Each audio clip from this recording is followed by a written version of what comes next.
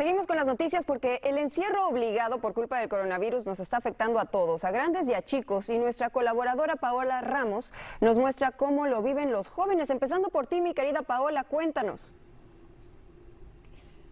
Pues Paulina, como sabemos, ahora mismo hay más de 150 millones de personas en este país que están bajo las órdenes de quedarse en casa, ¿no? De stay at home.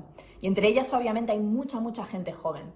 Pero Deborah Birks, que es la coordinadora de respuesta al coronavirus de la Casa Blanca, hace un par de días Deborah dijo, la gente joven va a ser el grupo que va a frenar este virus, ¿no? que va a contener este virus. Y yo me quedé preguntando por qué, ¿no? ¿Por qué dijo eso?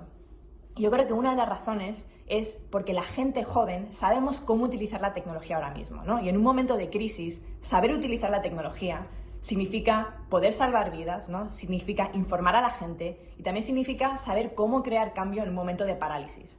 Así que le pregunté a alguna gente joven latina a través del país que qué estaban haciendo ellos en este momento de aislamiento, ¿no? cómo estaban utilizando su tiempo en sus casas ahora mismo. Y mira lo que me dijeron.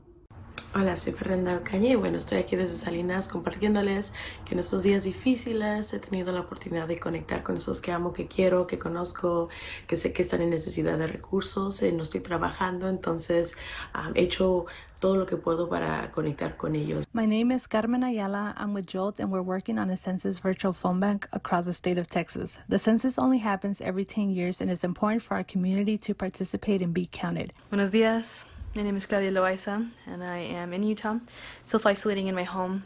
Um, and I've taken this time to reflect on my ancestors and my rich culture, my mix, uh, my Mexican culture, and in that I've been picking up a artesanía called beading. Um, so it's a traditional art form I think that is helping me reconnect with uh, my identity.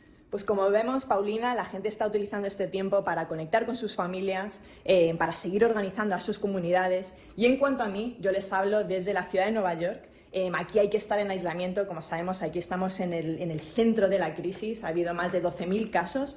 Así que yo paso mucho tiempo en esta mesa, enfrente de este ordenador, eh, siempre en el teléfono para intentar entender qué es lo que está pasando ahí fuera en mi ciudad y con mi comunidad. Pero también de vez en cuando en momentos de crisis hay que buscar momentos de alegría, así que también paso mucho tiempo con Dida. Así que desde aquí, desde Nueva York, eh, espero que todos estén sanos y que los que puedan, que se queden en casa. Qué buena compañía. Cuídate mucho, Paola. El mundo está cambiando constantemente la cifra de personas infectadas por el coronavirus. El número ya se está acercando al cuarto de millón de personas, pero los datos están cambiando.